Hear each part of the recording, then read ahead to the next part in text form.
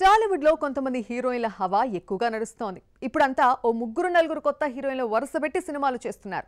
ఇటువంటి పరిస్థితుల్లో Anupama Parameswaran senior heroines follow అవుతూ కాస్త కొత్తగా ట్రై చేస్తూ ముందుకు సాగుతోంది. మరి ఏ విషయంలో అనుపమ సీనియర్స్ని ఫాలో అవుతోందో తెలియాలంటే watch the story.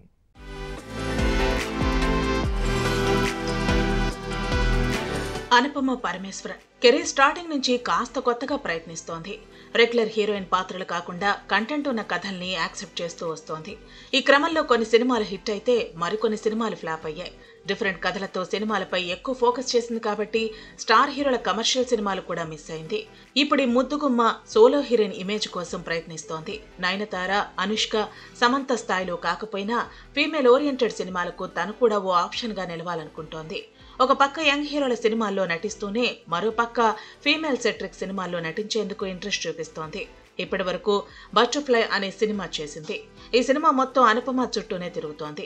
అయితే థియేటర్లలో రిలీజ్ అవ్వకపోవడంతో ఈ బ్యూటీకి మైనస్గా మారింది. దానికి తోడు ఈ మూవీ ఓటీటీలో కూడా పెద్దగా రెస్పాన్స్ రాలేదు.